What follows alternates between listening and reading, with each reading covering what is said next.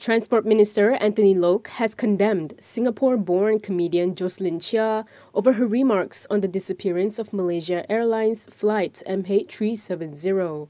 Speaking at a press conference today, Loke said her comments were highly insensitive, insolent, and rude. I think it's, uh, she's inhuman to make a joke out of a tragedy involving more than 200 lives.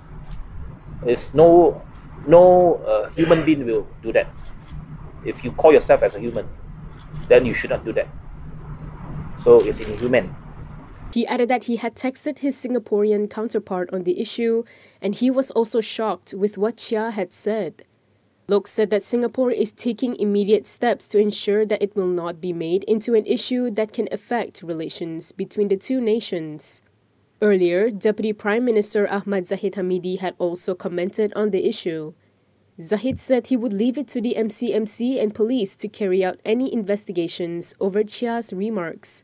He added that the outcome of the investigations carried out by the agencies would be submitted to the Attorney General's chambers for further action. Meanwhile, UMNO Youth had also said that they would lodge a police report over the matter. Chia had mocked Malaysia and made fun of the MH370 tragedy in a recent comedy show titled Singapore vs. Malaysia, held in New York.